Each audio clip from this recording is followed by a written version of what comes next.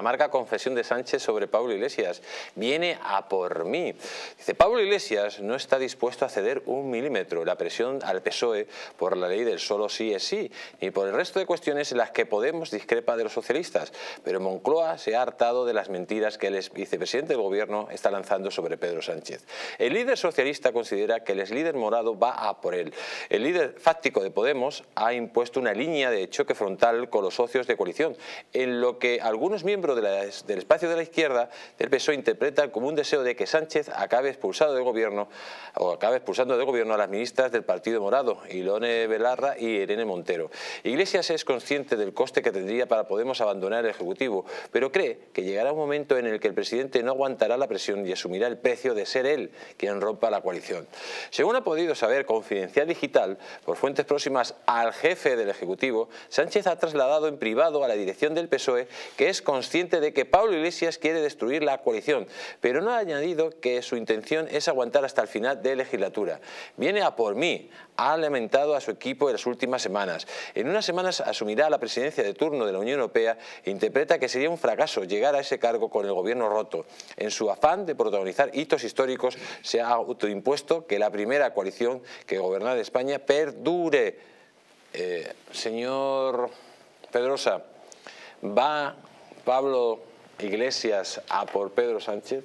Pablo Iglesias quiere tensar tanto el gobierno que en un momento determinado Sánchez sea el que rompa ese gobierno para luego reclamárselo en las futuras elecciones que pueda haber? No, tal vez quiera, pero probablemente no pueda. Aunque, y lo dije yo en, este, en esta cadena cuando celebraban cuando celebraban con vítores el anuncio de Pablo Iglesias de que se retiraba de la política. Le dije, tengan cuidado porque está regresando a, su hábitat, al hábitat donde es más peligroso, que es, el, los medios, la agitación, el estar detrás de, de bambalinas sin ningún tipo de camisa de fuerza institucional que le impida accionar. Sin embargo, creo que podemos, vamos a ver qué pasa en las elecciones del 28 de mayo, pero creo que Podemos estar sumamente disminuido y que tendrá un trasvase importante hacia, hacia el partido de Yolanda Díaz.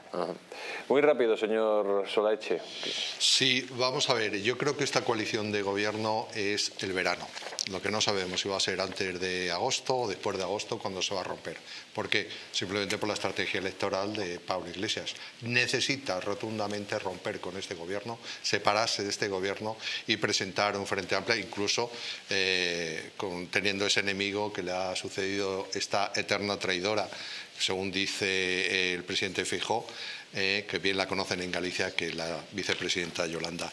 Eh, siempre hay un dicho y es que a los comunistas hay que escucharles, siempre, porque los comunistas eh, te intentarán engañar, pero lo que nunca va a mentir un comunista es en la información de las negociaciones privadas que hayan tenido contigo. Nunca lo hizo Carrillo, nunca lo hizo Anguita ¿eh? y nunca lo hizo ETA. ETA, cuando decía ETA estamos negociando este punto, este punto, este punto, no mentía, porque tenía las pruebas. Y Pablo Iglesias tiene todas las pruebas internas de las negociaciones del cara a cara con Sánchez, que eso es lo que él teme. Que Pablo Iglesias le saque en estos momentos, le saque los documentos, le saquen los pactos escritos ¿eh? que han tenido entre ellos. Pues amigos, ese es el miedo de Pedro Sánchez. Tiene miedo a Marruecos eh, y que le saquen muchas cosas, tiene miedo a, iglesias y lo que no tiene miedo es a los españoles, porque hace lo que le da la gana.